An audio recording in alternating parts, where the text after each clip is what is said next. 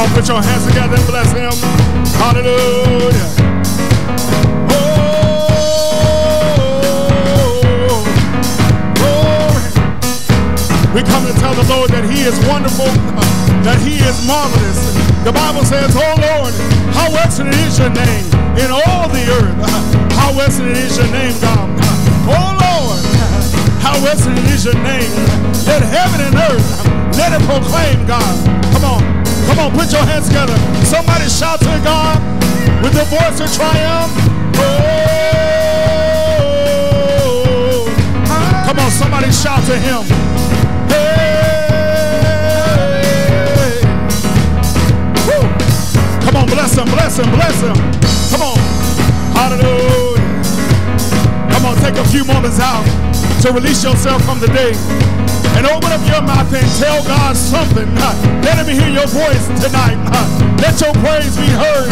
Hallelujah. Hey.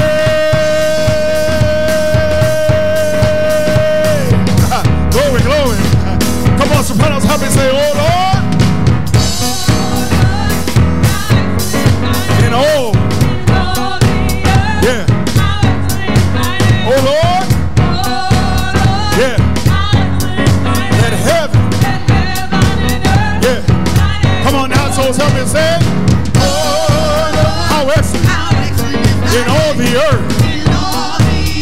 How. Come on, oh Lord, how excellent. Let heaven, thy name. Come on, everybody say, oh,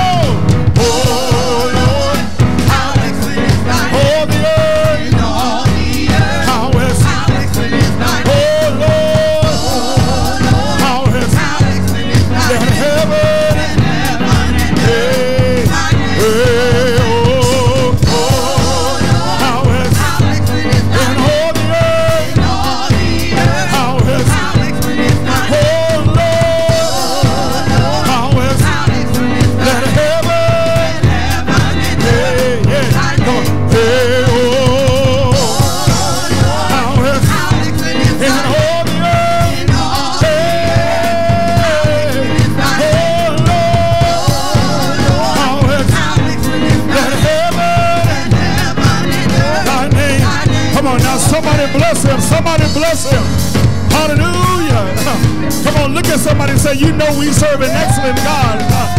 Yeah, we serve a mighty God. We serve a wonderful God. Somebody open your mouth and shout to him with the voice of triumph. Hey, hallelujah. Hey, come on. Hey,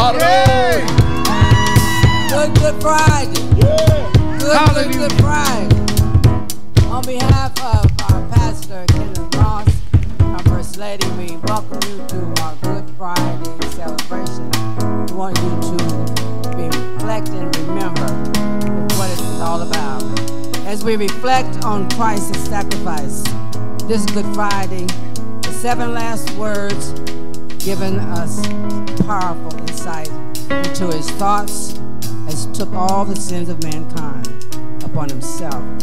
With these words, he forgives his enemies, forgive the penitent thief, and cries out to God and declares the end of his earthly life. You're going to sit back and listen to the servants of the Lord tell you what Good Friday is really all about. Let's pray. Father, in the name of Jesus, we commit ourselves to walk in the Word. Your Word living in us produces your life in this world. We recognize that your Word is integrity, itself steadfast, sure, eternal, and we trust our lives to its provisions. You have sent your word forth into our hearts. We let it dwell in us richly in all wisdom. We meditate in it day and night so that we may diligently act on it. The incomparable seed, the living word, the word of truth, is abiding in our spirit. That seed is growing mightily in us now, producing your nature, your life. It is our counsel, our shield, our buckler, our powerful weapon in battle.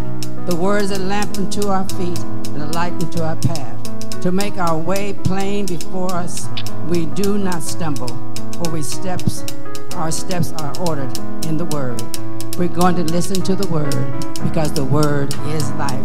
We thank you, Lord, for this program and this service right now. In the name of Jesus Christ of Nazareth, we pray and we thank you. Amen and amen.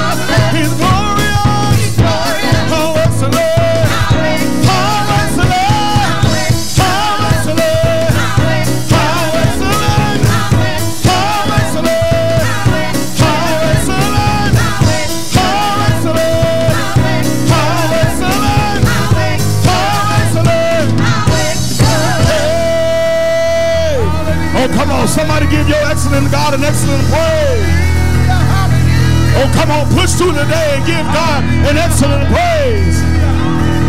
Hallelujah. Hey! He's wonderful. He's marvelous. He's glorious. How excellent. Oh! Come on, put your hands together. Come on, somebody open your mouth and shout to God. Hallelujah. Hallelujah! Oh, come on, somebody bless him, bless him, bless him, bless him, bless him, bless him. Come on, let your praise be continuous. Hallelujah. Hallelujah. Hallelujah. Can you just lift your hands to him and just begin to give him the fruit of your lips? Hallelujah. Without the music, just let God, let your voice be the instruments. You are excellent. Hallelujah. Yes, Thank yes, you, yes, God. yes. Hallelujah. We Yes, bless your name tonight. Hallelujah. Yes, yes, yes. For your excellent greatness. Hallelujah. Yes, we yes. bless you on tonight. Hallelujah. Thank you, Jesus. Thank you, Father. Hallelujah. Let your praise, let your worship be continuous. Oh, glory. Oh, glory. Glory. Thank you, Lord. His name is holy. Hallelujah. Thank you, Jesus.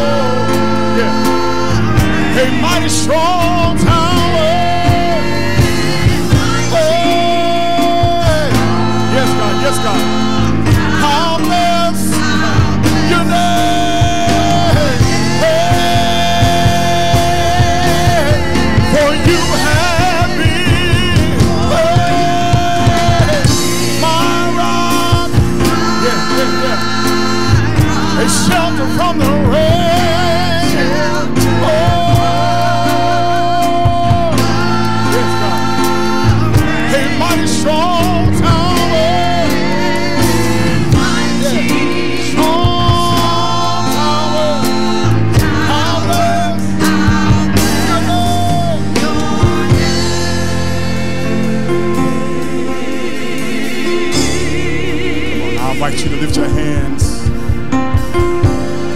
and just open up your mouth. Pour out your worship to Him.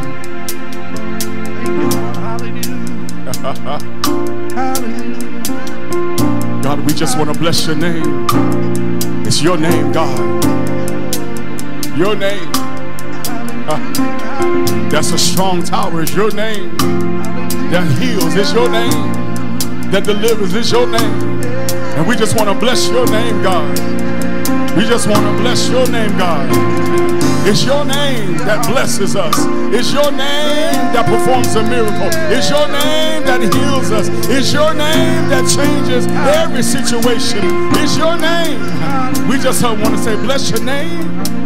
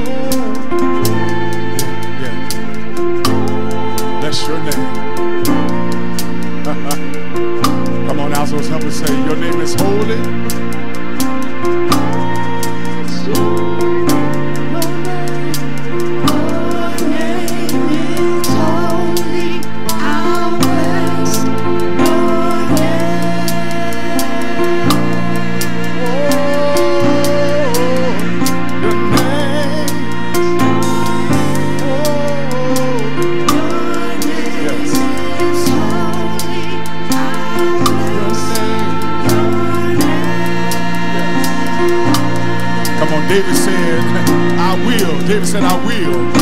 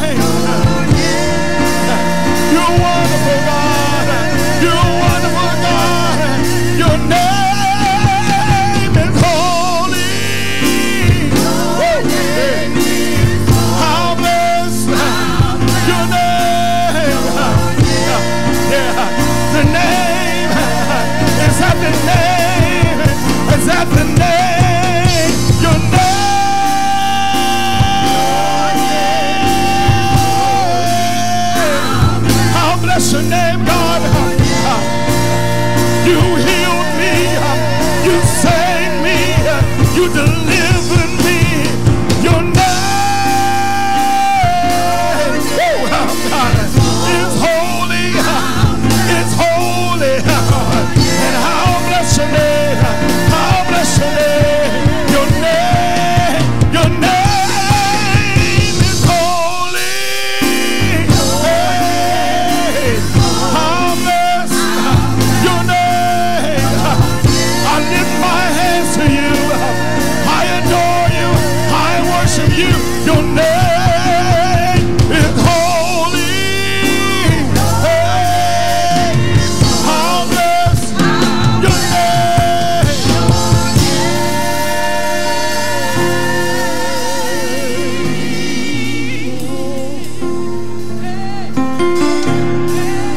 That's a good place.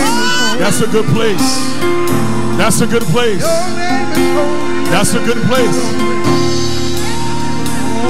Oh, oh that's a good place. That's a good place. Your name is I dare you lift your voice and let him hear it. I dare you lift your voice and let him hear it. I dare you lift your voice and let him hear it. Oh. Come on, join in with the angels tonight uh, as they cry, Holy.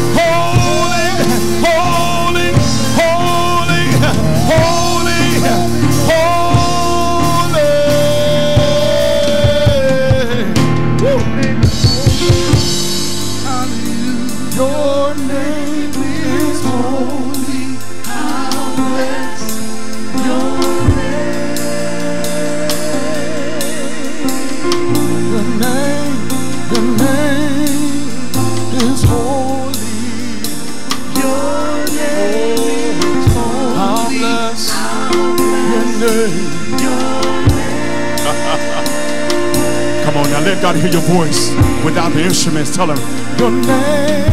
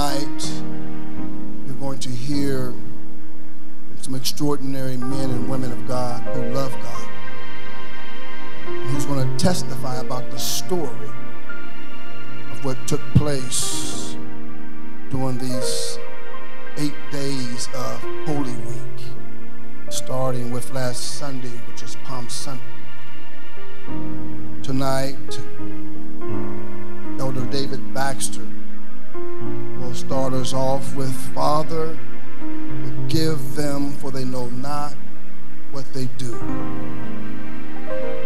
Pastor Chris from Fruits of the Harvest is with us on tonight. Mighty man of God will lead us in our second saying tonight. Today shalt thou be with me in paradise. His lovely wife, Apostle Pastor Chantel, will lead us with Woman, behold thy son. Son, behold thy mother.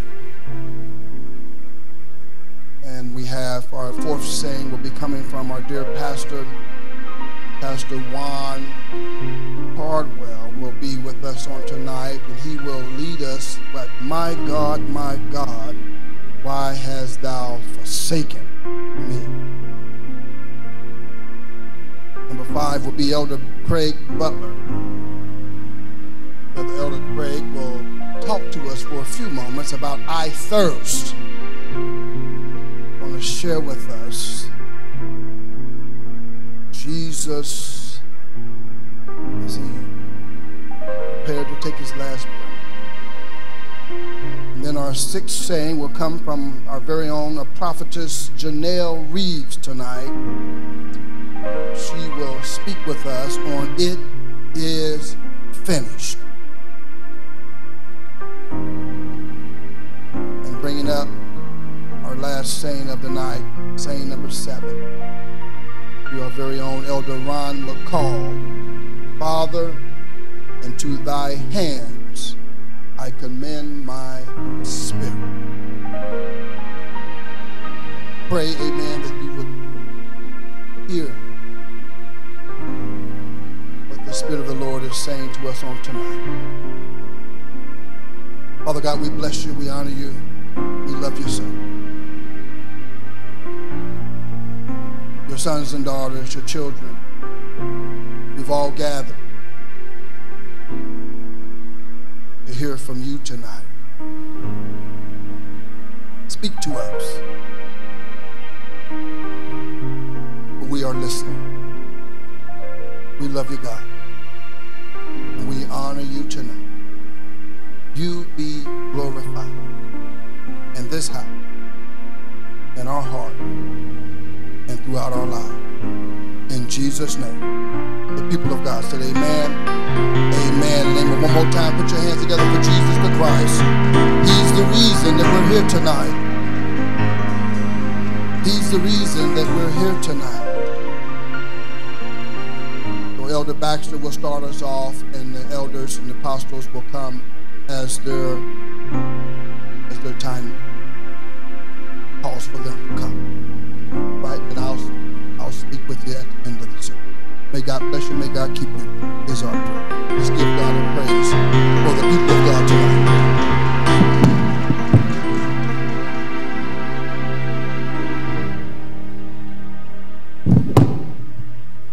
Hallelujah. Well, go ahead and give God a hand of praise. Hallelujah. Hallelujah.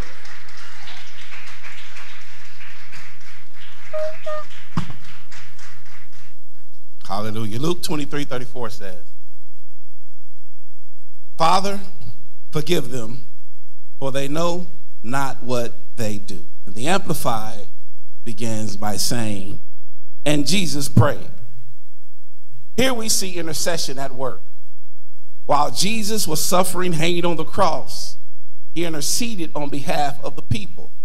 The same people that celebrated him five days prior with shouts of Hosanna, blessed is he, is he who comes in the name of the Lord, John 12 and 13, are now shouting, Crucify him, crucify him, Luke 23 and 21. The same people that saw Jesus raise the dead now wanted him dead. There will be people in your life that will celebrate you. They'll encourage you. They'll bless you. They'll support you, even speak well of you. And then all of a sudden, will turn and betray you. But God has a plan. See, our first thought is to get revenge. You know us. I ain't about to let that ride. I'm about to check that fool. But God tells us in Luke 628, the B portion, pray for those who mistreat. And remember, God has a plan. And if the enemy, your enemy, knew the plan that God has for your life, if they understood the purpose in which you were created, for they would not have allowed things to be set in motion had they knew that the betrayal of Judas to Jesus started the process of promotion. He had knew, if he had knew that the wounding and the bruising and the chastising would bring healing and deliverance from the sickness of sin, sickness and bondage of sin, he wouldn't have stopped. Had he knew that the nailing of his hands and feet were securing our salvation and victory over our adversary, and that he was being lifted up for all to see that he was the prophesied Messiah, wouldn't have let it happen. Had he knew that the piercing of his side would release water and blood for cleansing and covering generations to come, they would have left him alone, let him be. But God made a promise. And Jesus was the fulfillment of that promise. So now bringing it to you. Had your enemies knew that God had called you to a place of purpose, God had destiny on your life, they wouldn't have mistreated you, they wouldn't abuse you, they wouldn't have talked about you, they wouldn't have misled you. They would have let you stay in your little place of worship. They would have let you remain in your little spot and just serve the Lord. But God had a plan. So God needed you to have a few enemies. God needed some people to talk about you and dog you. God needed some people to despise you. God needed you to feel rejection. Hallelujah. The Bible reminds us in Isaiah 53, verse 10, it says this, and it pleased the Lord to bruise him. One translation says to crush. God knew that you needed to be crushed to release what was in you. Because what was in you wasn't for you, but it was for people to come that was coming behind you. There had to be something that happened that brought you to a place of release so those that were coming behind you could receive and gravitate to the anointing that's on your life. You were called to something greater. So you had to go through I know we didn't want to go through. You don't want the trials. You don't want the tribulations. You don't want the trouble. But I promise you, if you remain faithful, the Bible says to endure hardness as a good soldier. So if you're able to endure hardness just for a little while, God is going to give you trouble double for your trouble. Hallelujah. I almost said that wrong. God is going to bless you immensely as long as you remain faithful. I know Jesus in agony on the cross easily could have said, you know what? Bump this. Call forth an angel, a legion of angels, and shut everything down. But he operated in the grace of God, and God sustained him through the pain, through the punishment, to the breaking, to the piercing of his side that he would endure. And all he said was, Father, forgive them, for they know not what they do.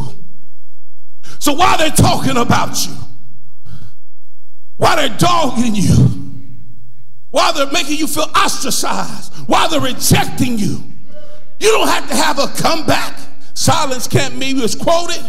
Hallelujah. And everything don't need a response. Sometimes all you got to do is look to the hills from which cometh your help. Why you're being persecuted, why you're being rejected, why you're being neglected, why your best friends are talking about you. See, Jesus had to deal with the folk that he healed, that he blessed, that he provided for. Jesus had to talk to them people and look at their faces and hear them say, Crucify him.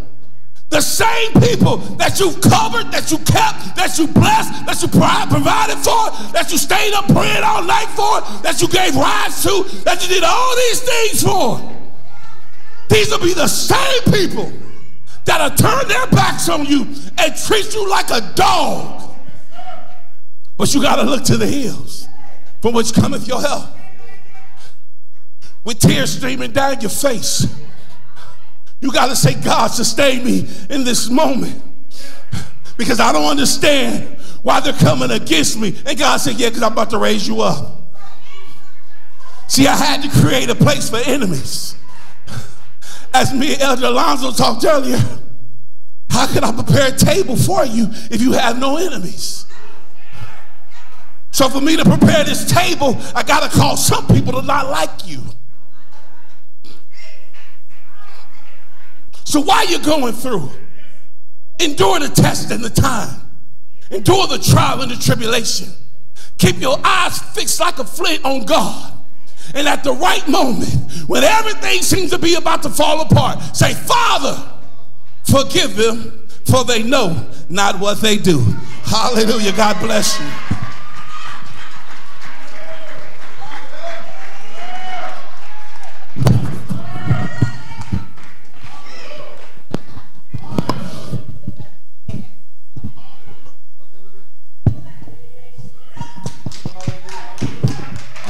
Hallelujah.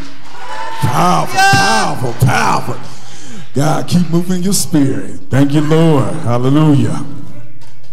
That's me coming out of the passage. That's God. Hallelujah. Ooh, we. Hallelujah. I heard Pastor Moss say in the text, he said 10 minutes. That's why I'm going to put my clock on right quick. 10 minutes. All right, 10 minutes that the Holy Spirit can do what he do. Hallelujah. We're coming out of our text out of Luke chapter 23, verses 43. And when Jesus said unto him, Verily I say unto thee, today thou shalt be with me in paradise.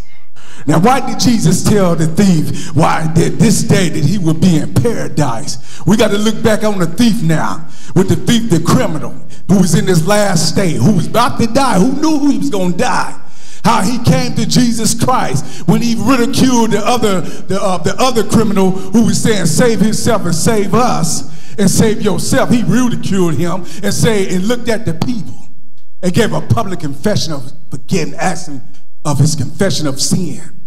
He looked out and said, we do to the things that we did, the evil that we done, we deserve.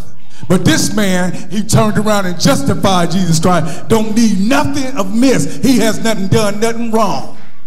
Ah, and then he turned to Jesus Christ in the sight of forgiveness and said, Jesus, remember me when you come to your kingdom. So you got to remember the disciples, they displayed, they fled from, they, they scattered from Jesus Christ. Uh, they ain't had no hope. They thought the hope of the kingdom was done with. But this criminal on the cross, he knew the kingdom had not come yet. He came in faith. He had more faith than the disciples altogether. Didn't have that type of faith. But he had the faith, knew Jesus and said, Jesus, when you come to your kingdom, remember me. So this criminal right here was justified in the eyes of Jesus Christ in his last state of his day of his life. No matter what state that you in, no matter if your last day, your last breath, or what type of sin that you have done, you know that ain't by your works, that you are justified, but it's by your faith. So this criminal knew in his faith, not what he did, his faith in Christ Jesus caused him to be saved. He didn't have to do no ritual works to be saved. He didn't to be good to be saved. He had to go be baptized in the water to be saved because he was already in a state of death. But it was his faith that justified him before our king. And that's why our king said, Verily, verily, today you shall be with me in paradise.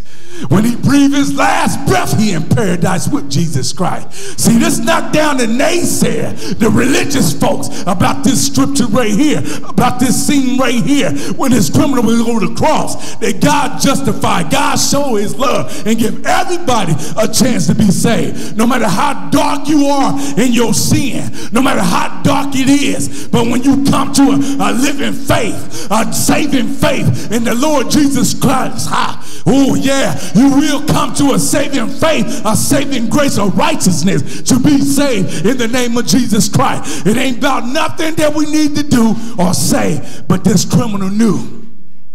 He knew by faith he was touched on that cross. He probably heard about Jesus Christ. Not even seen him do no miracles or anything. But he knew that the unction, that faith that he had in him when the Holy Ghost touched him. Because you got to remember what Jesus said. Unless the Holy Ghost come upon you, you will not believe in me. So that day that that guy was on the cross, that criminal was on the cross with Jesus Christ, he confessed to about body. He confessed to him. He submitted to him. Remember me, Lord, when you come into your kingdom. He you know, notice where he's saying, I know you got a kingdom beyond this natural world. I know you got a kingdom, oh Lord, that's eternal, Lord, of an eternal state. I know you got a kingdom, Father, that dwelleth righteous. I know you got a kingdom, God, that we will never die. I know you got a kingdom, ah, ah, I testify that you, Lord, remember me. Ah, when you come into your kingdom. Oh, Jesus said today to all that's stuck in that sin, that's all led to death. Oh, today they want to take you into paradise with him. All you got to do is believe, just like this criminal did. Have the faith, that trust of faith, that justful faith, that love of faith, that faith in him, that faith in that person, that person of Jesus Christ, faith in his justification to be saved, no matter what state you in, in the name of Jesus Christ. Oh, we got to keep that in our hearts. This criminal shows a, a good sign of faith in the works of faith because we know that Jesus said that in our sin that we was justified. While we were yet in our sin, Jesus Christ died for us. While we yet in our sin, Jesus Christ died for us. As Paul the brother, as Paul the apostle said, yet in our sins that we was justified by Jesus Christ. When we was in our sins, he died for us. And here's a picture of that thing right there of saving grace that Jesus accepted him into the kingdom. Jesus accepted him into the paradise. Today you will be with me in paradise. You don't have to die no more. Oh, I know what you've done, but you give a confession of your sin. You ask me to forgive you. You ask me to accept you. I have accepted you, my son. You today, you will be with me in paradise. Oh, say that bonase. Ye kama bahasha. Oh, Eh, kohaba. Don't let the devil tempt your mind. And don't let the devil tempt your mind to make you look at your natural self. Because it ain't about your natural self. It's about your heart. It's about the heart. And Jesus Christ was on the cross with it. Even though Jesus was in misery, he gave him an opportunity to receive salvation. Even though he was in that cross, Jesus looked into his heart and seen the pureness in his heart that obsoleted everything that he had done in his life physically. But he looked in the purity of his heart and justified him. Hey, he justified him. Because we know the Bible said that God only looks on the heart. He don't look at the natural exterior man. He don't care how much money you got.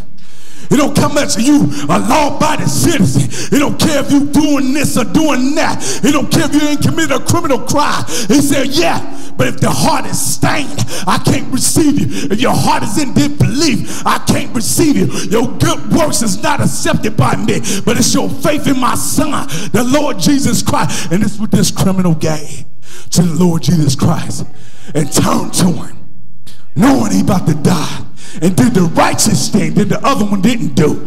Lord, remember me when you come into your kingdom.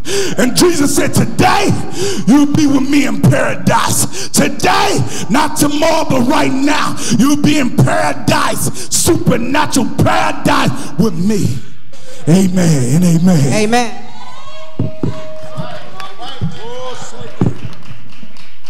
Yes, Lord. Oh, come on, Pastor Chris.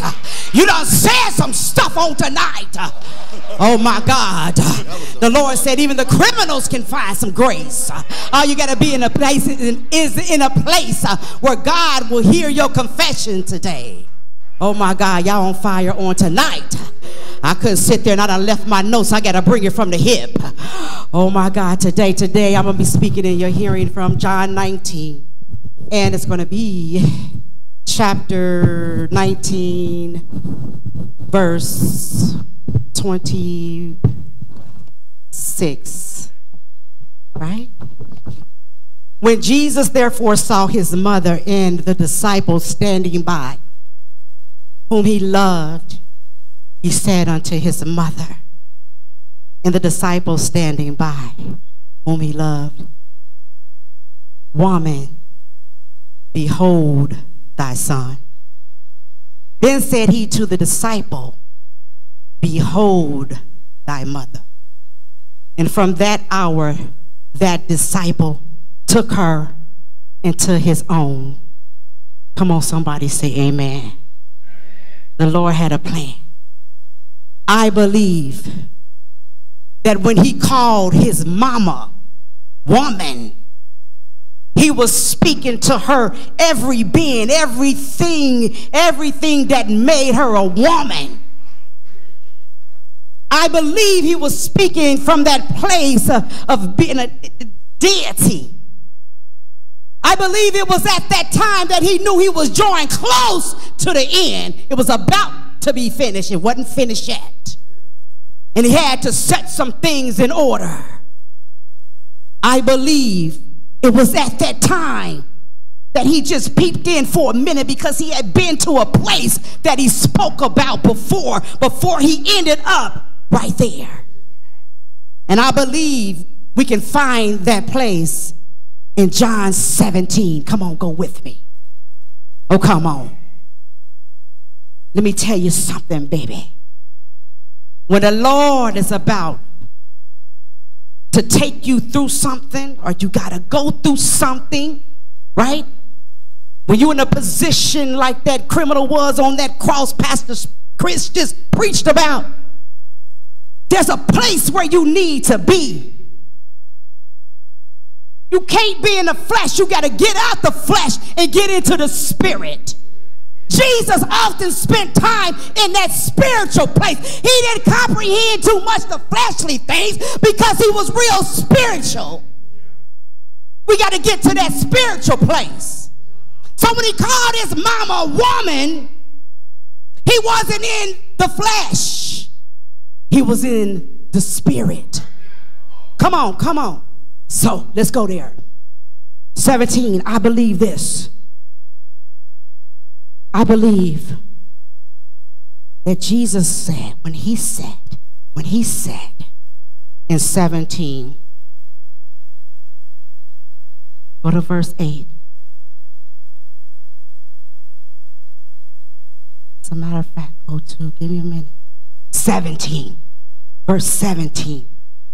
John 17. Sanctify them through thy truth.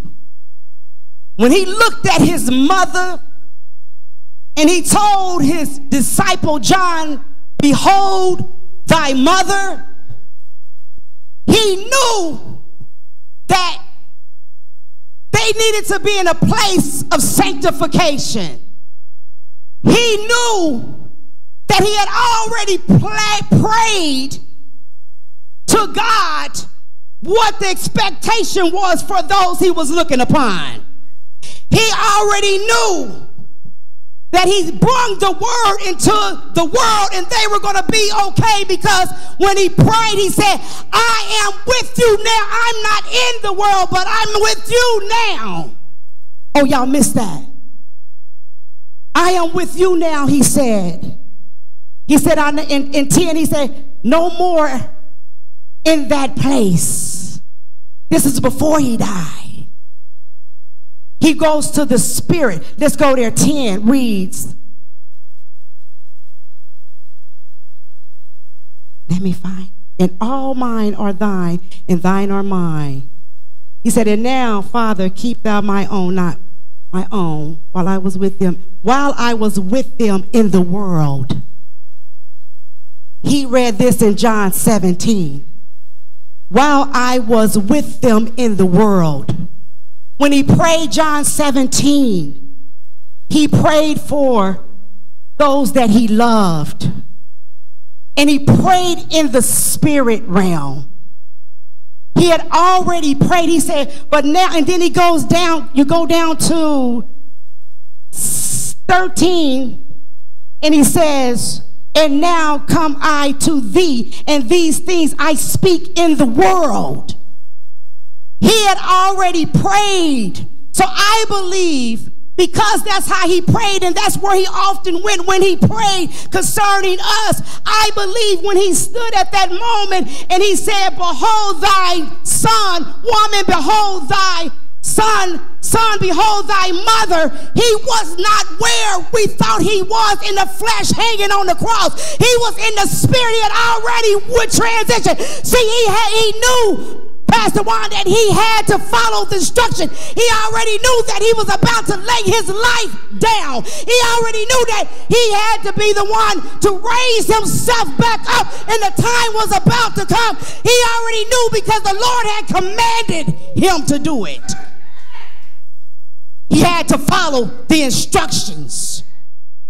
He didn't have time to worry about such things. Behold thy son, behold thy mother. Take care. I done already prayed. I done already been before the Father and prayed to y'all. I done already loved the world in the world. So you already know what to do. Now I got to be about my Father's business because I've gotten to that place uh, I got to follow the instruction. Uh, I got to do some things that y'all don't know nothing about because my Father has commanded me to get me back up. I'm at that final stage now. I've done everything that I needed to do, uh, but I need to get this out to you. Uh, Chris, uh, take care of my babies. Uh, I need my babies. Uh, take care of my husband. Uh. Everything gonna be all right. I done did what I need to do for y'all. I gotta go take care of my father's business. I want to see him say, "Well done, my good and faithful servant." There's a part two to this. Oh, come on. He knew that time was coming. He knew what his next words were going to be. He had already left here. He did it in John 17. Often when he prayed, he wasn't here. And that's when he came back out. He was empowered. He could touch and lay hands because he took time and went to a heavenly place and spoke on your behalf. It wasn't mama, it was woman. She was created in my image. It was son. Behold, it's already happening. I got to go and handle my father's business. It is my commandment to do that. Though you see all of this happening to me, don't worry about it. Y'all take care of yourself. Do what you need to do. I already know I'm coming back, but I just need to let you know it's all right. Take care of my mama. Mama, take care of him. Y'all take care of one another. I love you. Do you understand? This ain't over. What you crying for? I know where I'm at now. I couldn't understand it in the beginning. I thought he had forsaken me. I really didn't know what to expect. But now I'm figuring these things out. Because nobody taketh my life. It is mine to give. And it is me that will raise it back up. Because my father has commanded me to do it. They ain't did nothing. I need y'all to focus on y'all y'all take care of y'all because I got this. I got this. And we got to remember that today. he got up. It was not finished at that moment. Not yet. But he knew that he had to fulfill the purpose of God. He didn't say, I am the one going to raise me up and that was it. No, he said, My father has commanded me to do this thing. It was a commandment I received from my father to raise me up. So he already knew.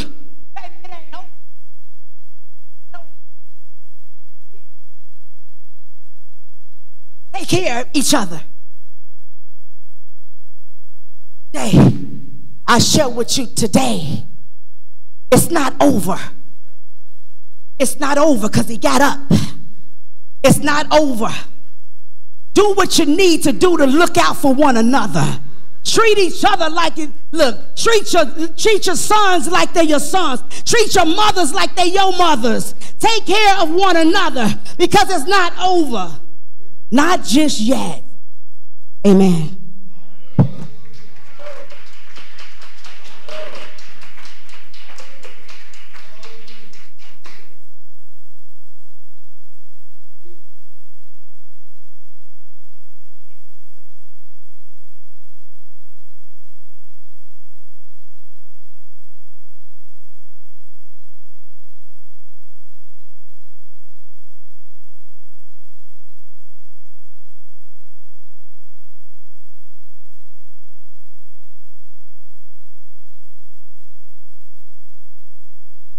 Praise the Lord. Yeah, I like this mic.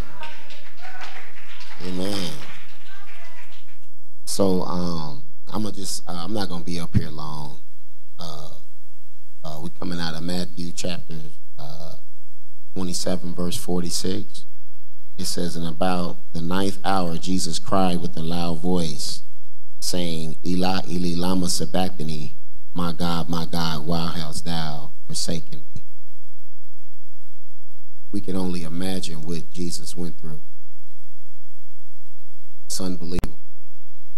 Kind of hard to read this verse without, you know, crying because, you know, just what he went through for all of our sins. Amen. How many of us have sinned against God? He went through all that. You know, seven inch nails going through his wrists. Can you imagine that? On a 45 degree angle cross. They whooping him with a cat of nine tails, crown of thorns on his head, the neurological compulsion that he's going through, pain shooting in his back. Imagine this though, you got the nails in your hands and you got your weight from your body just coming down on the nails. And we, can you imagine that? And then the paralysis that was in his hands. And then what that does when your hands go numb and mentally you go into shock due to the extremity of the pain. And I think of all that that he did for us. Man, I don't know. I, I know when I talk to God, I come to God jacked up. I come to God, I come to God real small and minute. I don't know. I, I'm constantly pleading for mercy and thanking God because I know hell is a real place. I don't want to go. Amen. I mean, you know, so just just knowing that he went through all of this for you. You know, that cat of nine tails had metal in it. It was ripping through his flesh. When he said, My God, why have thou forsaken me? It's because he took all of our sins on him. It's just that simple. Amen. But ain't it a wonderful thing we, that we celebrate Easter just to lift up his name? Ain't God so cool that he is the way, the truth, and the light? No man come to the Father but through him. Amen. Give God a hand clap.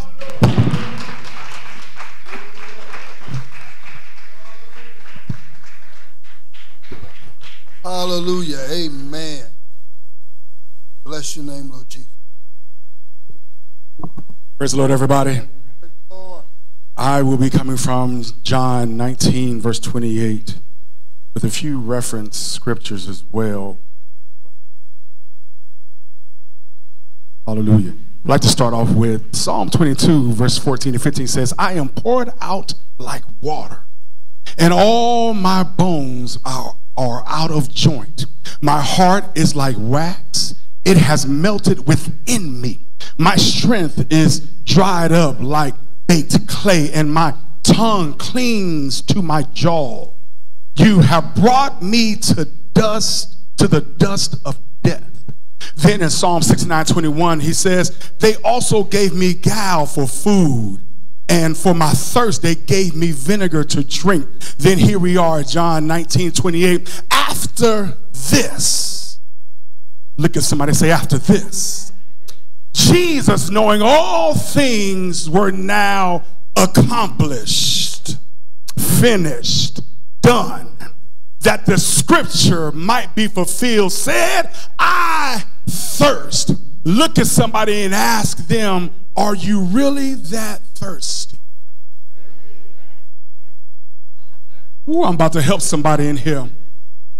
We all have set out on some type of quest, journey, or goal for our life, whether it be physical, educational, or some other personal gain to change or that will change our present situational circumstance, that an outcome that would be beneficial not just for us, but perhaps for someone else.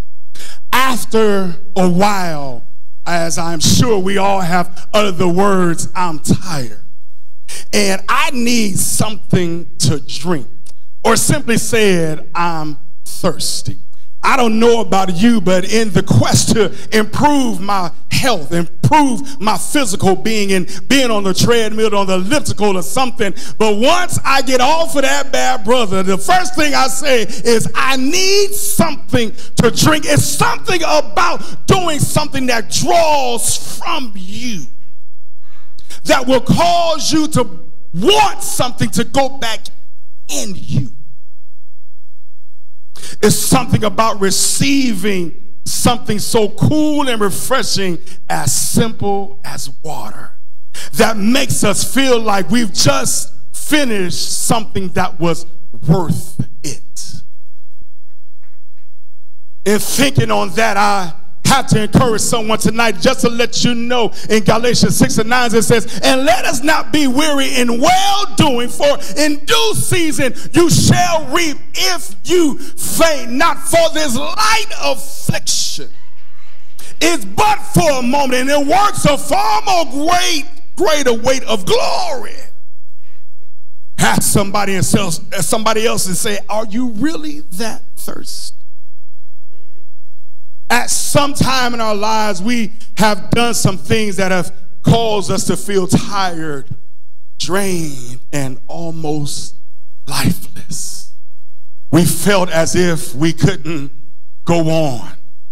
We felt as if this isn't worth it. Or will it be worth all that I'm going? Is it really worth it? Is it worth what I'm going through? Is that drink of water worth me spending this time of being abused? Is that drink of water worth me doing this? Am I really that thirsty? Let's take a trip back in our minds to a time when we have done some type of work or activity.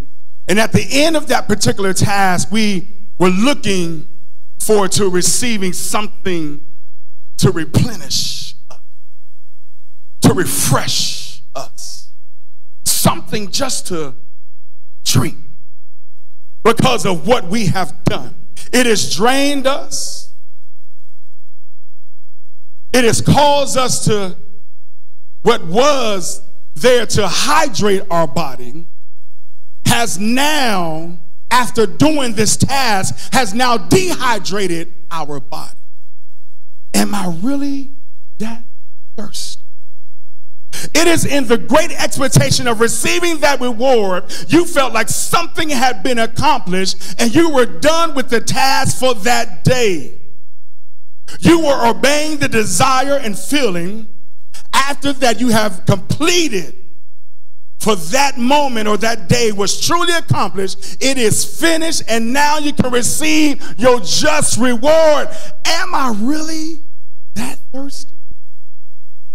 It's nothing like knowing that what you have been instructed to do, Jesus, uh, or what you have been challenged to do, Jesus, uh, or even what you challenge yourself to do, y'all, have been accomplished, and you now know that you're ready to bask in what has been finished, and all the while you rest and take a drink. Am I really can you see our Savior hanging there on the cross after being passed from Caiaphas, Pontius Pilate, Herod, and even the people? His speaking, the scourging, the spitting on, the nail, the crown of thorns.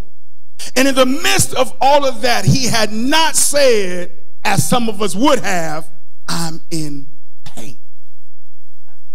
For the fact speaks for itself that the only thing that he said was, I thirst. Am I really that thirsty?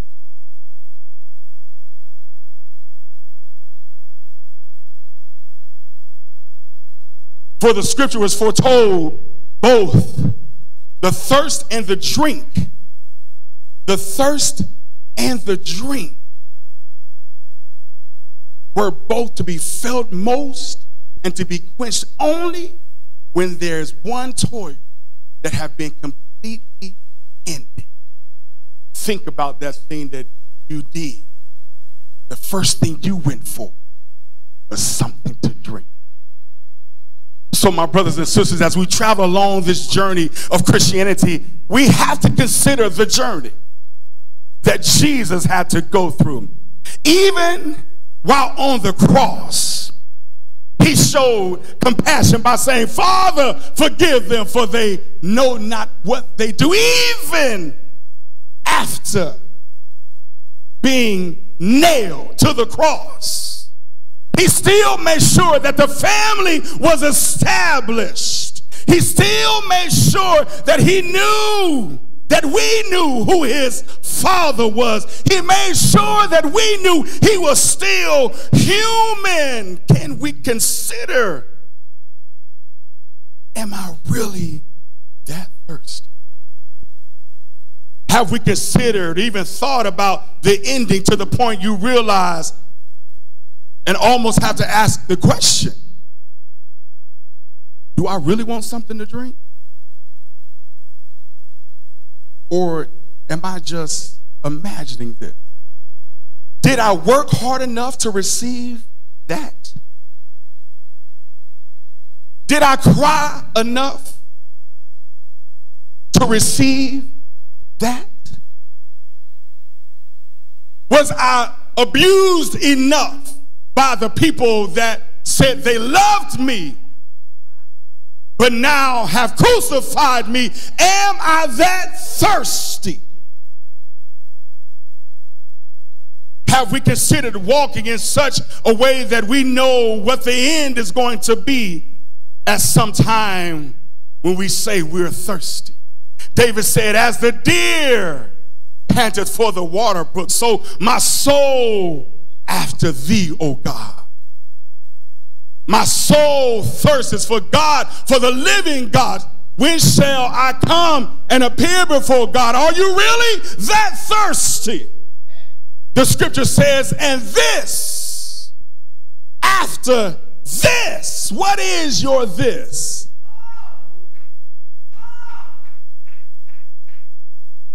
What is your this?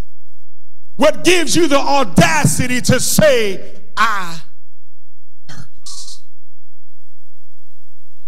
knowing that all was accomplished, that the scripture might be fulfilled, he simply said, I thirst. After all that the Savior had gone through, as the old song said, he never said a mumbling word.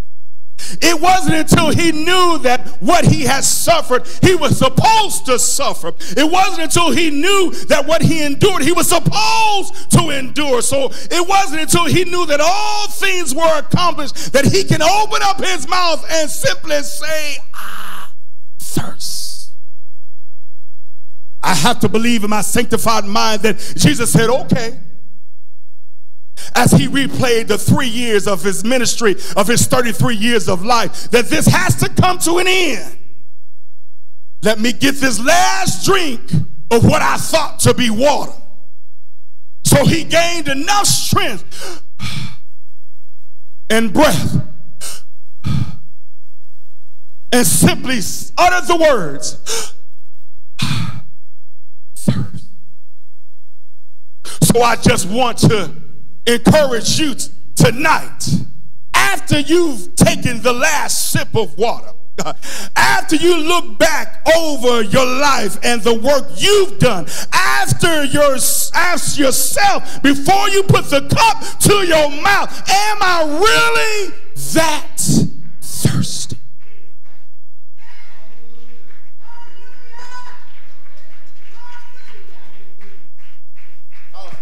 Glory to God.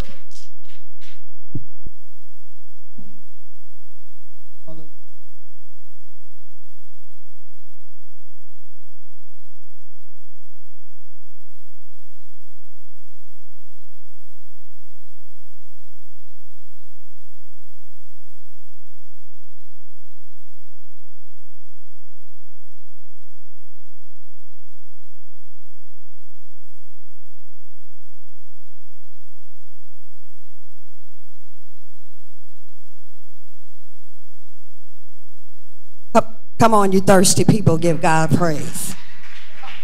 Come on, you thirsty. You know you thirsting for the Holy Ghost. You know you thirsting for his presence. You know you thirsting for his word. You know you thirsting for his life. You know you thirsty for love. You know you thirsty for peace. You know you thirsty for joy. You know you thirsty for healing. You know you thirsty for salvation. You know you thirsty for his peace. Come on, give God praise because you are that thirsty. And you'll go through whatever it takes for God to bring you some peace, for God to give you some joy, for God to give you some love, for God to give you somebody in your life. Yes, you are that thirsty. Now, come on and give God praise for my fellow brothers and sisters, the messengers of God, as they've come to bring to you what's on the heart of God tonight. Hallelujah. I thank God for being thirsty. Hallelujah. You don't appreciate water until you're dehydrated. Hallelujah. You don't appreciate the water of his spirit until he's you haven't felt his spirit in a while. You have you don't appreciate his voice until he shuts up from you for a while. Hallelujah. Thank God for being thirsty. Hallelujah. Tonight I come from John 19, verse 30. When he had received the drink, Jesus said, It is finished. Finished. Finished. Finished. Finished brought or having come to an end, finished, to bring something to a state where nothing else remains to be done, finished, to bring an event to a natural or an appropriate stopping point, finished. Clearly, there was nothing left or else for our Savior to endure, yet there was something left for his humanity to do. Somebody say there's unfinished business. See, the business began in Genesis 1:26 and Genesis 1:31. Then God said, "Let us make man in our image, according to our likeness. Let them rule over the fish of the sea, over the birds of the air, and over the cattle, and over all the earth, and over every creeping thing that creeps on the earth." You creepy, creepy thing. God saw all that He had made, and behold, it was very good. Good. And there was evening and there was morning the sixth day. See, my assignment tonight is not about the seventh, for there is one that cometh after me that give you about the seventh. But indeed, it is about the sixth. For from the beginning of humanity, the sixth day, the fall of humanity, and since the redemption of humanity, the completion of God's salvation plan was solidified in his sixth last word, there yet remains some unfinished business. It's the law of the first mention of the sixth. For once something is truly finished, there is truly a rest. And we're not resting yet. So Genesis, the second says, Thus the heavens and the earth were finished, were completed, and all their host by the seventh. Somebody say by the seventh. By the seventh, by the seventh day, God completed his work. He didn't hit completed and he completed in six, and he rested in seven. But in this unfinished business for us, because we're in the sixth, this is the sixth word, and he said there's still yet some unfinished business. For the God, for the God, the regard of our redemption plan was accomplished. Our Savior, one life for all lives, one death for all deaths. Salvation's process was completed. Death penalty paid. The price for our eternal life paid. Divinity could now rest. Y'all not saying nothing in here. However, for humanity, there is yet unfinished business. What are you saying tonight? Unfinished business. He's simply saying, finish what he started. In the CEB, it says, when he had received Elder Butler the sour wine, Jesus said, It is completed. The Y, WYC says, Therefore, when Jesus had taken the vinegar, Elder Butler, he said, It is ended. The message says, After he took the wine, Elder Butler, Jesus said, It's done, it's completed.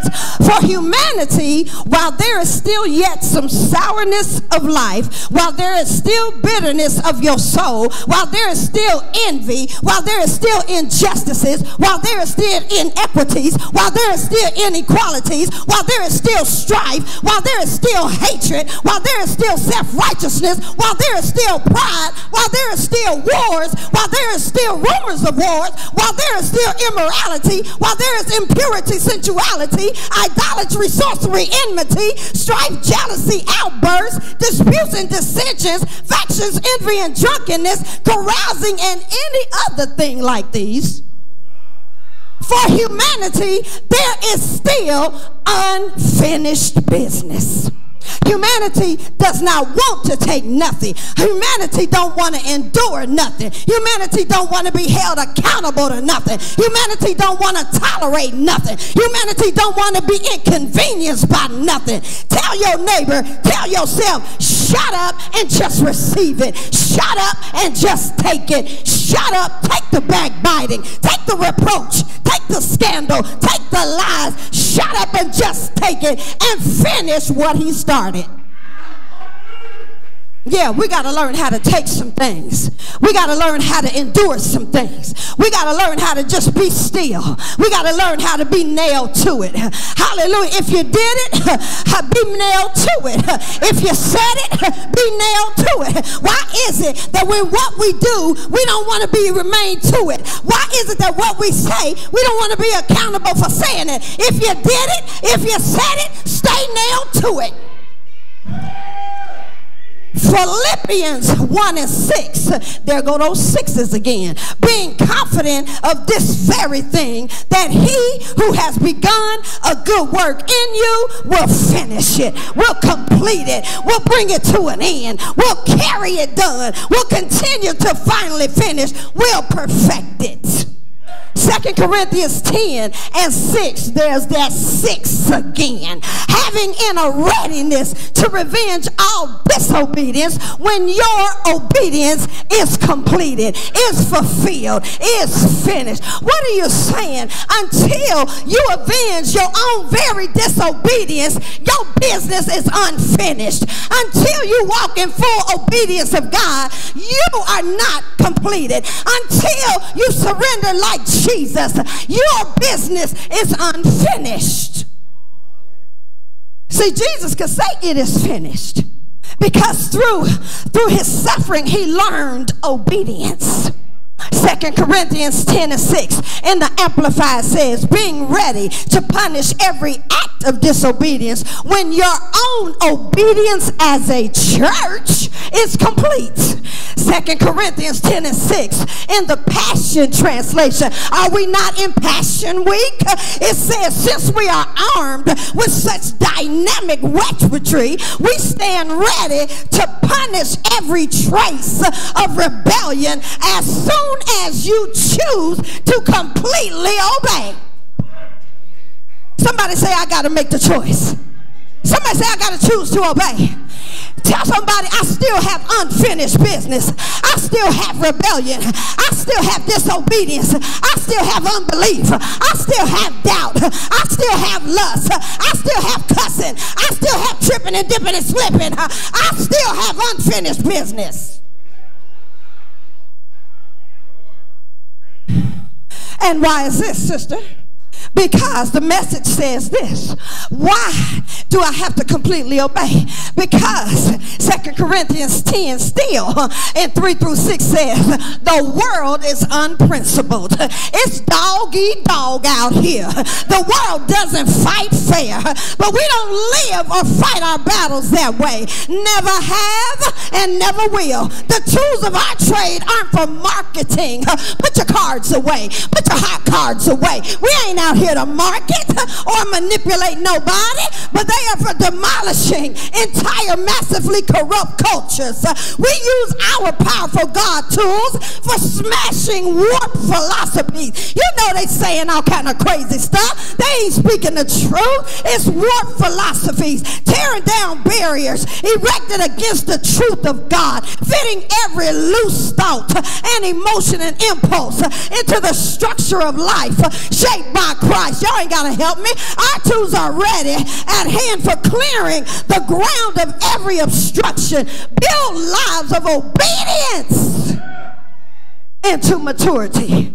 That's the finished business. He said it's finished because he obeyed uh, even to the death of the cross. Uh, your finished business is when you're walking in total obedience with God. So what? What humanity started in disobedience from the garden, divinity finished in his obedience on the cross. Say Gethsemane. Now here, hear the spirit divinity from the cross of Calvary. Hear what the Holy Ghost was saying through Jesus on the cross of Calvary, the cross of his completion, commanding that what divinity finished, humanity must continue to finish until humanity's unfinished business is finished.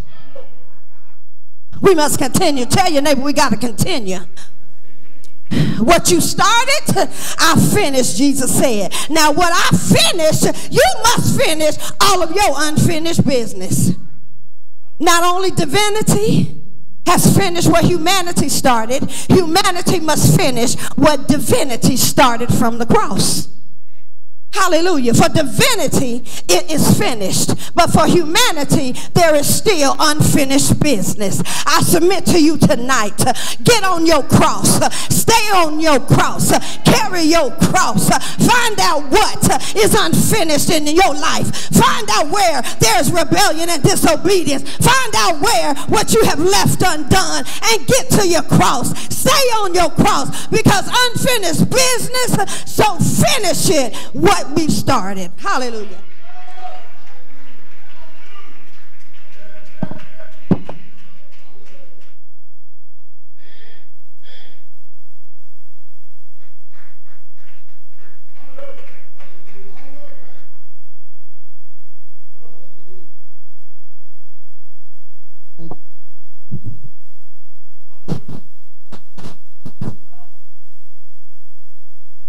Hallelujah. Is it finished tonight? Hallelujah. Luke 23 and 46 reads And when Jesus had cried with a loud voice, he said, Father, Into thy hands I commend my spirit. And having said thus, he gave up the ghost. I got 10 minutes to close this thing. I'm to try my best. Close it, Pastor, in 10 minutes.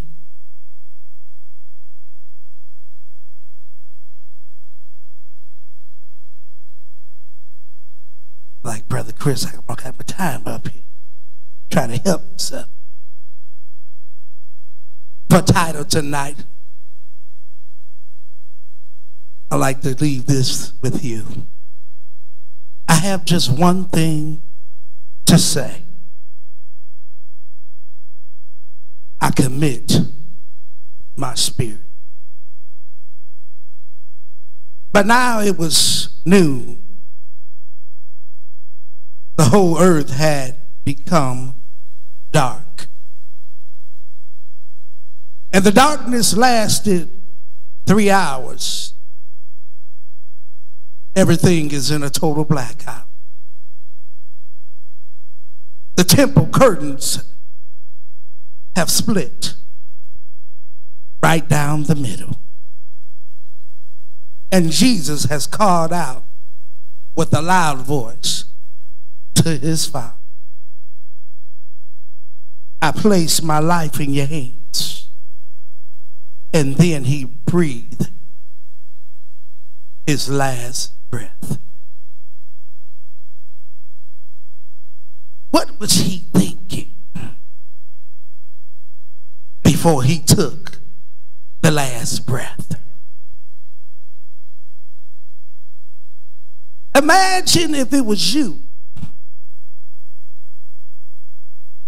What would your last words be before you took your last breath? Would you be calling on your brothers and your sisters? Would you be calling on your sons and your daughters? Would you be calling on your mother or your father? Or would you be calling on Jesus? So many times when we reach a painful situation, we call on everybody else but Jesus. But I submit to you tonight that Jesus gave us the perfect example that when you get in trouble, who to call on.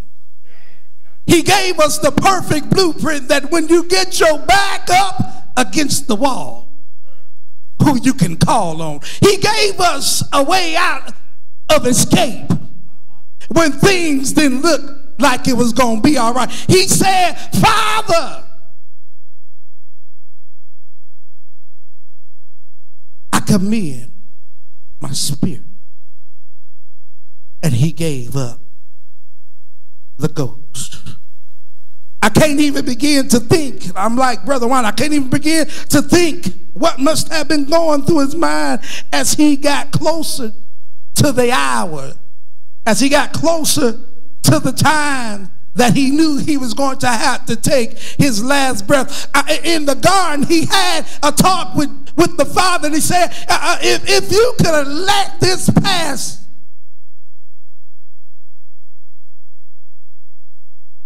but nevertheless, not thy will, but, but thy will be done.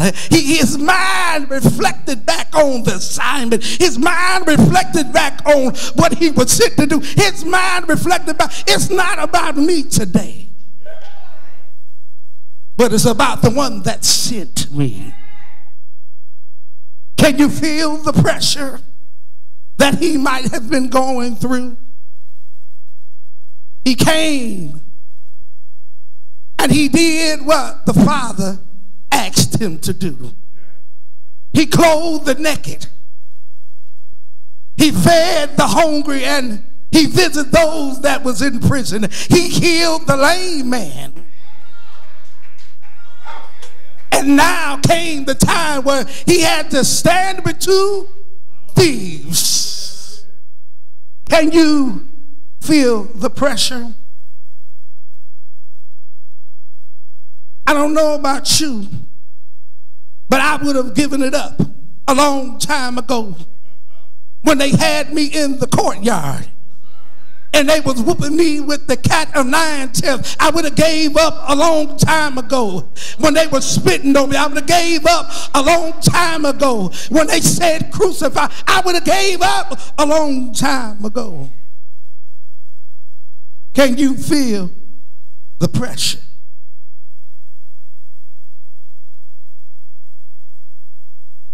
The pressure that he went through, he did so that you might live. The pressure he went through, he did so that you wouldn't have to go through it. The pressure he went through so that you might not die, but that you might have eternal life. The pressure that he went through so that you would not have to feel the pain that he was going to have to endure. Isaiah 53 and 5 said, He was wounded for our transgressions, He was bruised for our iniquity. The chastisement of peace, of our peace, uh, was upon Him, and by His stripes, we're healed. I, I want to know tonight, uh, are you healed tonight? Uh, if you don't know that you're healed tonight, can I can I let you know you're healed tonight? How do I know that you're healed tonight? Because one day on an old rugged cross, I, am getting ahead of myself. Uh, uh, uh, but but he he he he died. Oh God, so that you might not have to die uh, Christ took the beating. He, he took the whipping. He, he, he allowed them to spit on. Understand that I said he allowed it. When we were talking about the King of Kings and the Lord of Lords, he could have called a legion of angels. He could have called Gabriel to come on his behalf. He could have called Michael and got it all done in one swipe. But he hung there. He walked through the city as they mocked him, as they talked about him, and as they uh, made fun of him. Uh, but he hung there. As he said earlier, these the same rascals that were saying, Hosanna, Hosanna in the highest. But he hung there. These were the same ones that was praising him and lifting up holy hands. It was the same ones, Pastor, that was waving their palms as he made the triumphant entry. It was the same ones. Can I give you uh, uh, some help tonight? It was going to be the same ones that's going to talk about you. It's going to be the same ones that's going to stab you in your back. It's going to be the same ones gonna smile in your face. But he stayed right there and hung. George Bennard penned these words. And I got excited today as I sat in my apartment and reflected on them. They say, on a hill far away stood an old rugged cross, the emblem of suffering and shame. And I love the old cross where the dearest and best for a world of lost sinners was slain. So I cherish the old rugged cross. Till my trophies at last I'll lay down and I will cling to the old rugged cross. Hallelujah. Anybody clinging tonight? And exchange someday for a crown. I wish I had somebody that believed that tonight. to the old rugged cross. I will ever be true to shame and reproach. Gladly I bear. It's shame and reproach. Gladly I remember. Then he'll call me someday to my home far away where his glory forever I share. And I cherish the old rugged cross till my trophies at last I lay down. I will cling to the old rugged cross and exchange it someday for a crown. I will cling to the old rugged cross and exchange it someday for a crown. I don't know about you tonight, but I'm glad that he stayed there and he hung on the old rugged cross. I'm glad he didn't listen to those that, that was crying out, Hosanna, Hosanna in the highest. And then the same ones were saying, crucify him. But he hung there and he stayed there. I'm glad that he didn't even get confused uh, on the titles that they were giving him. Uh, He knew who he was, uh, so he didn't need them to call him the Messiah. The fact of the matter is, he's the Son of the living God. Hallelujah.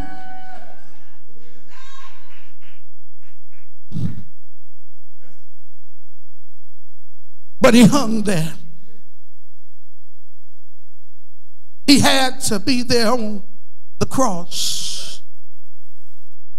And knowing that the time was winding up and that they was going to nail his hands and his feet, Brother Bishop Juan. And he knew that they was going to pierce him in his side and that he was going to be in excruciating pain. He knew that the time was winding up. I can imagine he was looking around and he was saying, Where are you, Peter? You said you was going to be with me to the end. Where are you, Andrew? Thomas and Paul? Is there anybody here tonight that you had to ask yourself that question? When times got hard. And I'm sure he was really trying to figure it out as he was in pain. But the only thing he could see was that he was hanging on this cross between two old thieves. All he could see, he was looking out in the crowd a bunch of fake people. All he could see is who was there that didn't really believe that he was the Messiah.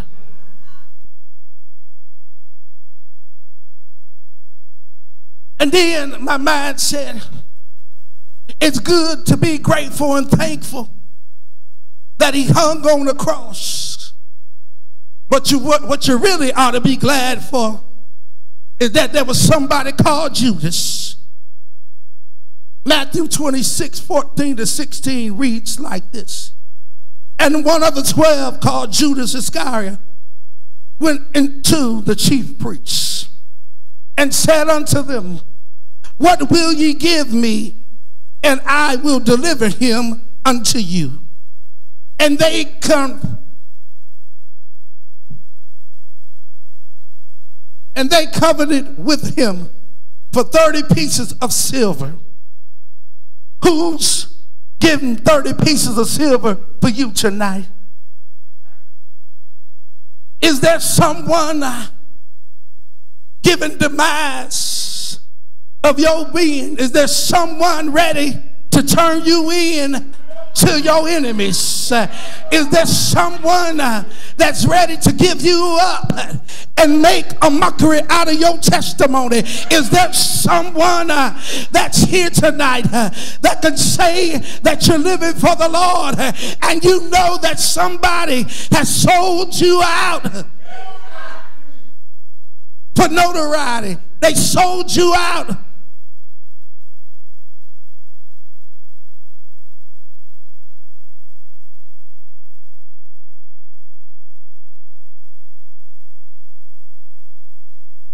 it was amazing that the one that he held closest to him and had sweet counsel with sold him out, betrayed him, and gave him up. But what was even more insulting and embarrassing is how he did it. Look at the scripture here in Matthew 26. It says, 48th verse reads like this Now he who was betraying him gave them a sign, saying, Whomever I shall kiss, he is the one. Seize him. And immediately he went to Jesus and said, Hail, Rabbi, and kissed him.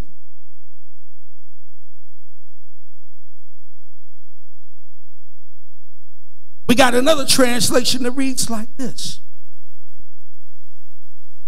Now he that betrayed him gave them the sign, saying, Whosoever I shall kiss, that same as he, hold him fast.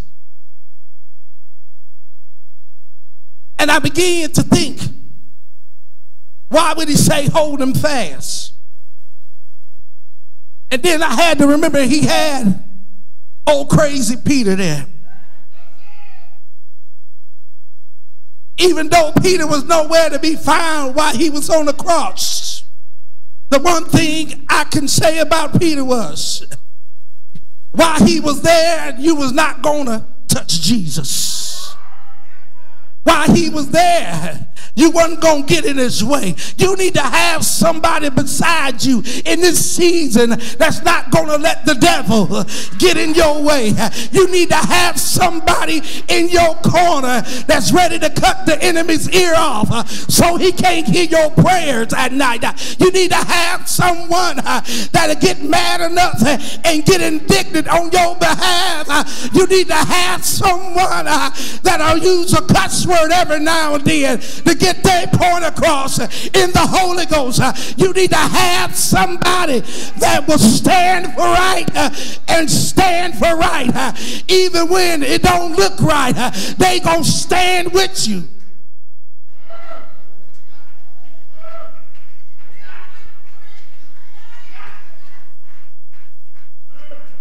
You need a Peter in your life. Hallelujah.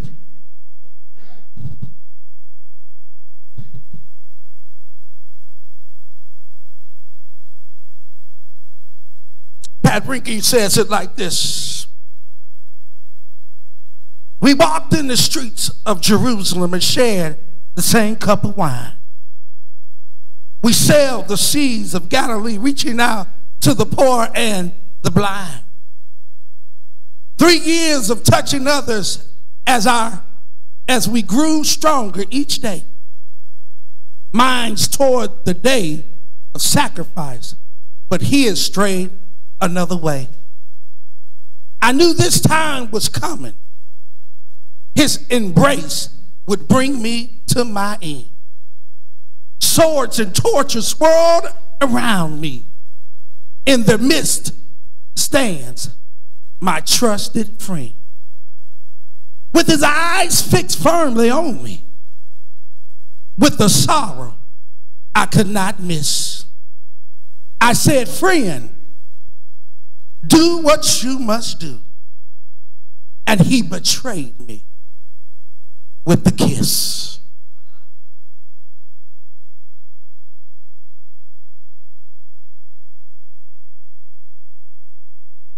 We all need a Judas in our life.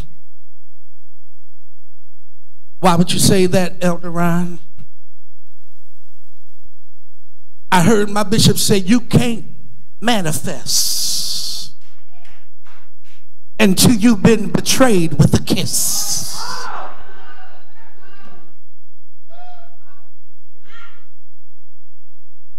You, you can't get to the next level of ministry until you can say somebody then betrayed you. You can't get to the next walk of life until the enemy has come and set a booby trap for you. It, it- it's, it- it's always, it's always, uh, it always disturbs me how those that are the closest to you can cause you so much pain. It's always those uh, that, that that you depend on uh, that keeps on making you cry at night. It- It's always those uh, that you thought that had your back. That will have you on bended knees.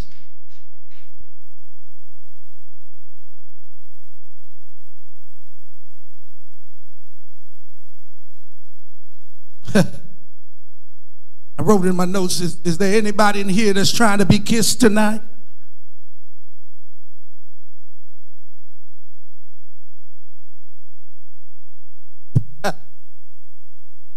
Are you really trying to be kissed tonight?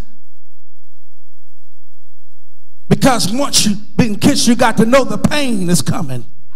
Uh, well, once you get kissed, you got to know that you're going to feel uncomfortable. Once you get kissed, you, you got to know that you're going to feel some pressure. Uh, what I want to remind you uh, is that when, when the kids come, or when you see the person coming that's doing the kissing, just be like Jesus was and say, Do what you got to do. Hallelujah. Let me wrap this up right here. So, Jesus said in the New Testament that the soldiers beat him, and before leading him to, the to be crucified, that the accusations against him would have been written and tied around his neck while he carried the cross to be crucified. What have they put around your neck as they crucified you? This would let everyone know the crime for which he was being executed for. The accusations was then to be nailed above the cross. And here it was, it said Jesus' uh, crime was to be published in three different languages. And it read, This is Jesus of Nazareth, the King of the Jews. What would it say on your plaque tonight? Will it say that you are a follower of the King? Or will they say you never knew him? Will it say that you was a soldier of the cross? Or will they say dishonorable discharge? Will it say uh, that you was one uh, that kept the faith? Uh, or will it say he fell out and, and broke up and, and ran away? Will it say that you was the one that stood there at the very hour and you came and you stayed there and suffered with him? Are you willing to suffer with him tonight? Are you willing to suffer with the King of Kings? Uh, are you willing to suffer with the Lord of Lords? Uh, are you willing to go through the pain? Uh, are you willing to hang on the cross? Are you willing to go through all the way to the end? I'm so glad that I can know that as I'm walking through the valley of the shadow of death, I won't fear no evil, for thou art with me, thy rod and thy staff comfort me. He prepares a table before me in the presence of my enemies. He anoints my head with oil, and my cup runs over.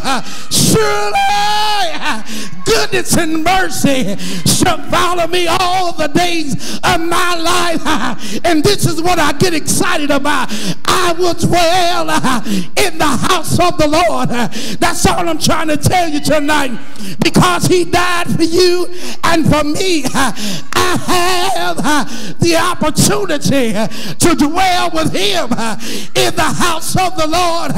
If you're excited about it tonight, come on and lift your hands. Come on and make some noise.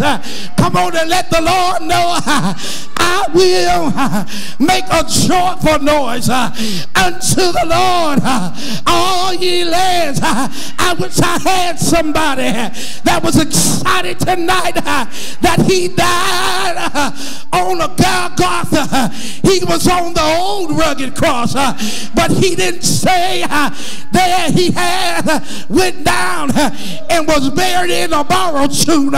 They tell me that he went down to hell and he took the keys uh, of death and the sting uh, and he, he, opened up the gates uh, and he loosed them.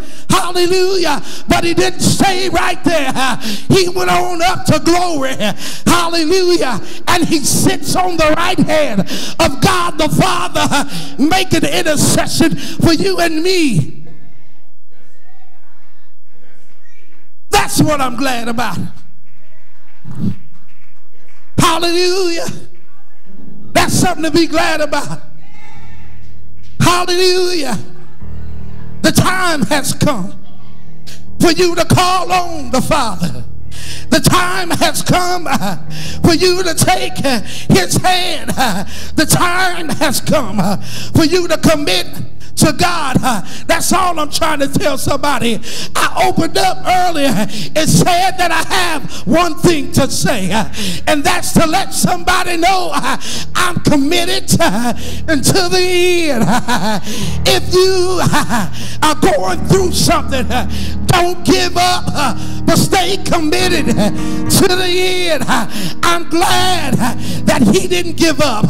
I'm glad he finished it. I'm glad his blood uh, has made me brand new. Uh, I'm glad uh, that even if I cry at night, uh, he still uh, will come to my rescue. Uh, he took his last breath. He took his last breath. He took his last breath. And he said, I commend my spirit unto you. And he took up the ghost. Hallelujah. I'm so glad that we got the victory. I'm so glad that he committed his spirit because now it's over. I'm so glad he committed his spirit because the time has expired. I'm so glad that I committed my spirit because the joy of the Lord is my strength. I died daily to sin, to my flesh, to my attitude, to pride, to this education, and I lean and depend on Him. I'm committed to His word. I'm committed to His spirit. I'm committed. Hallelujah.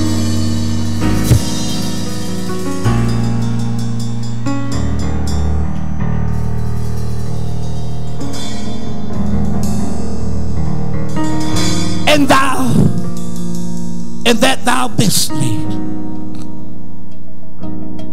come to thee. Hallelujah. Just as I am, without one plea,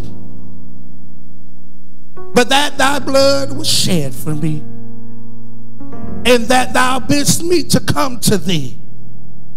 O Lamb of God, I come. I come. That's all you got to do tonight.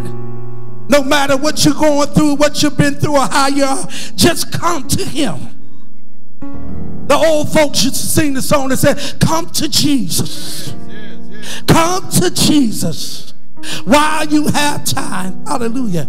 Come to Jesus. Come to Jesus. Make up your mind. He will make your life brand new. He will take care of you. Come to Jesus while you have time. I'm committed tonight because it's done. I'm committed tonight because his blood has made me whole. That word commitment, Pastor, means dedicated, means loyalty, means wholeheartedly. I'm committed tonight. And I got one thing to say I commit my spirit.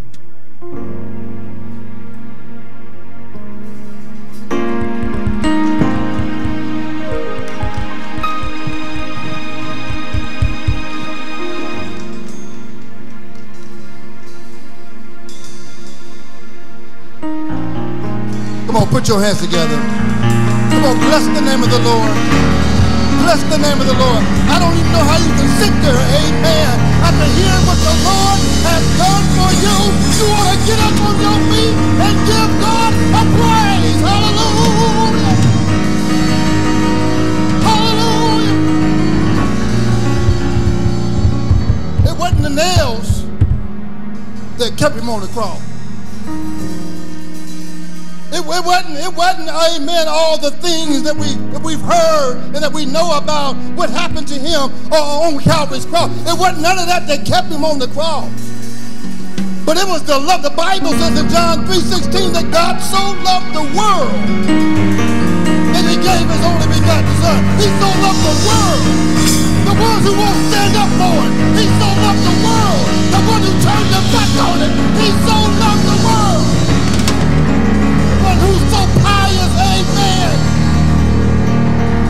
president walked up in here, you'll be on your feet. If your boo is somebody you know on TV, your celebrity walked up in here, you'll be looking for autograph. But the Bible says he so loved the world. That he gave his only begotten son. It wasn't the nails, it was his love for the Father. It was his love to do the Father's will. Glory to God. Gave his life. Are you really thirsty? That thirsty? The answer is yes, I'm really that thirsty. He was the living water. He was the living water. He wasn't thirsty for no water. He was thirsty for the Father. The Father had turned his back because he can't look upon sin. It was the sin of the world that dehydrated him. It was your sin and my sin. The unfinished business. Come on, glory to God. It dehydrated him. But he hung there. Glory to God. It was killing him but he hung there. Did that for us. We're able to celebrate Good Friday because of what he did on Calvary's cross. We're able to celebrate Good Friday and Easter coming up, amen. Talking about Easter eggs and Easter bunny because of what he did on Calvary's cross. Pastor Wine, Bishop Wine, you said it. I don't even know how we can sit still. When we just look at the cross and think about what he did for us. He didn't have to do that. He did it because he loved the Father. And the Father gave him a command and he was going to do whatever he had to do to do what the Father asked him to do. Even laying his life down hung, bled, and died me. We still got unfinished business. Still thirsting after the wrong things. Come on, Holy Ghost.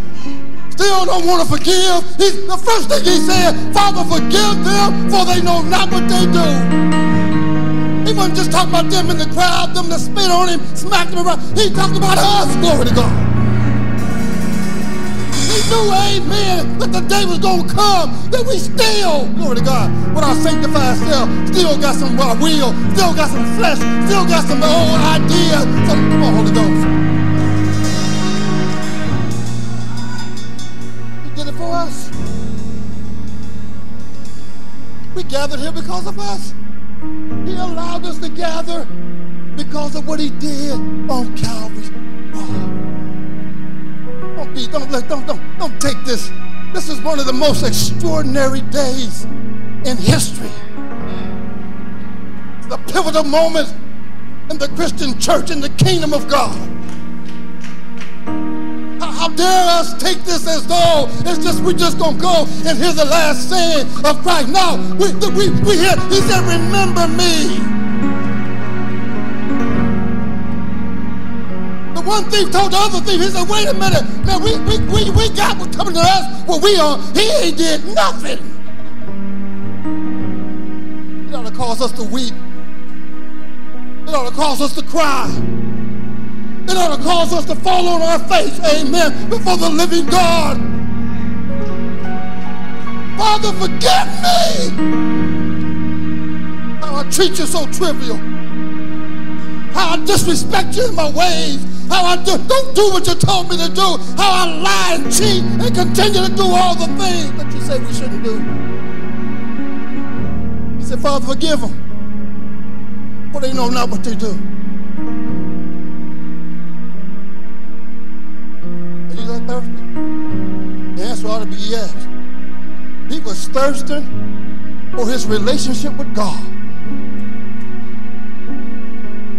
He was thirsting for God. He wanted the Father.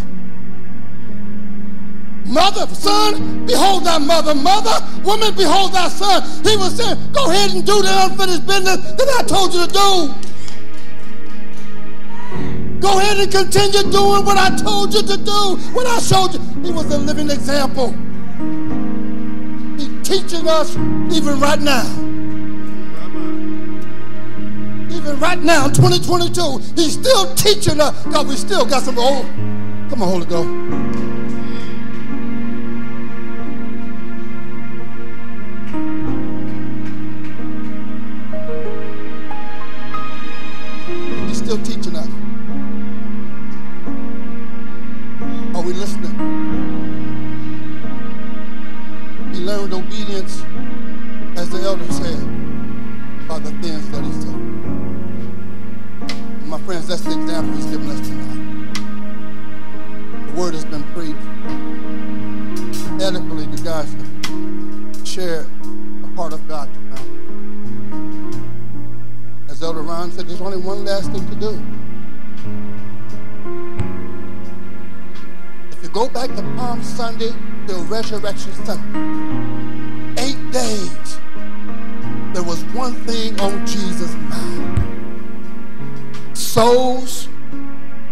Jesus.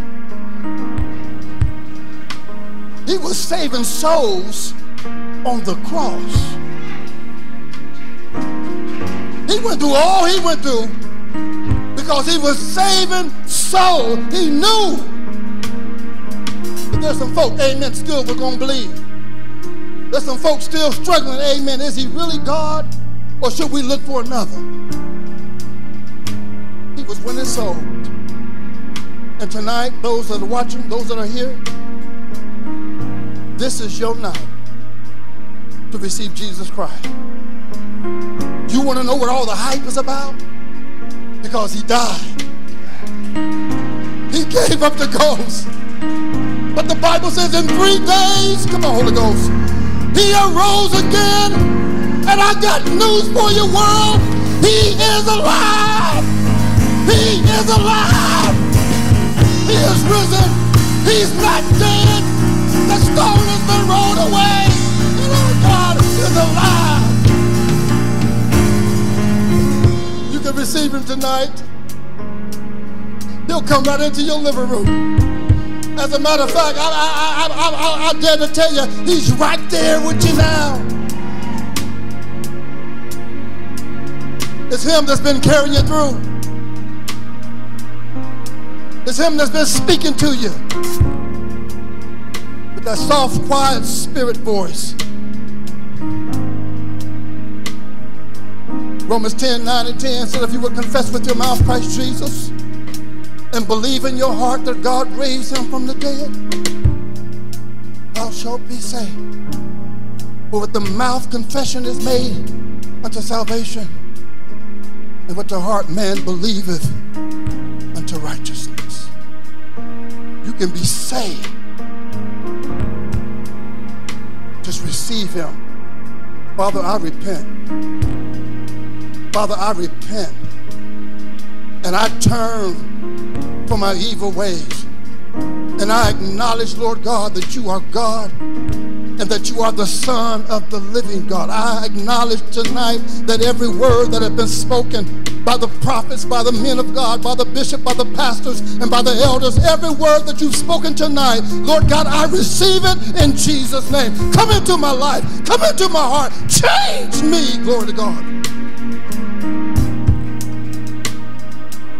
Are you really that thirsty?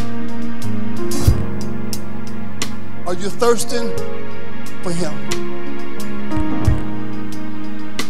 Father, we love you. Thank you for quenching our thirst tonight through your word.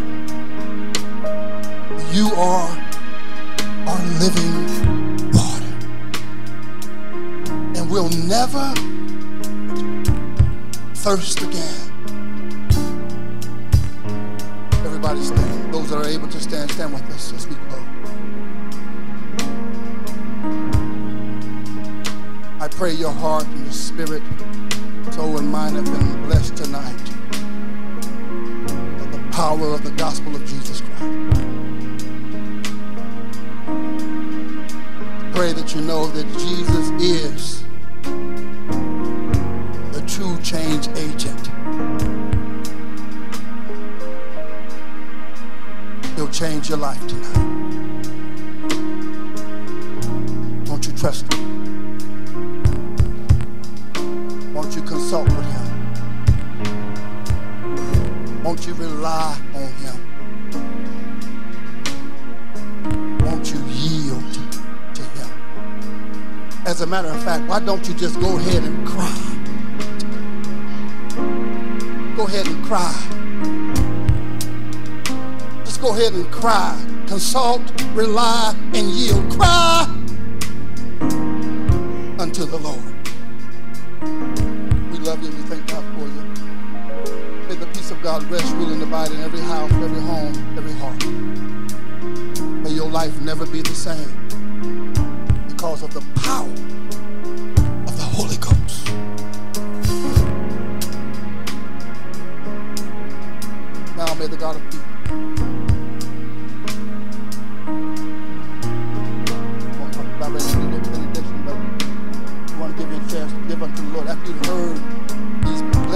women of God preach the gospel of Jesus Christ, want you to be able to sow unto the Lord. Show him how thirsty you are.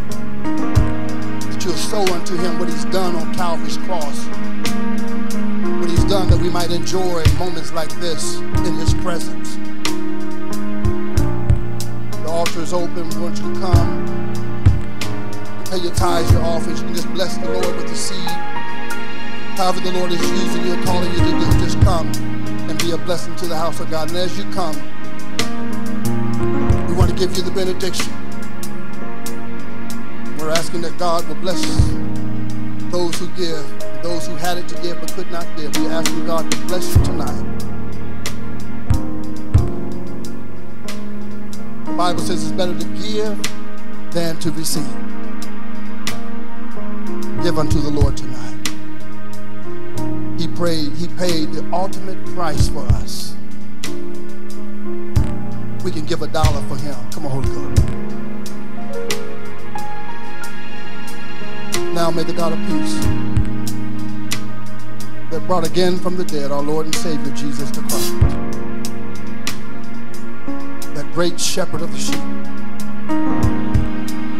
through the blood of the everlasting covenant, make you perfect unto every good work to do his will. working in you that which is well pleasing in his sight. To whom be honor, glory, and majesty, now, henceforth, and forevermore. The people of God said, Amen, Amen, and give God a great shout of hallelujah, hallelujah,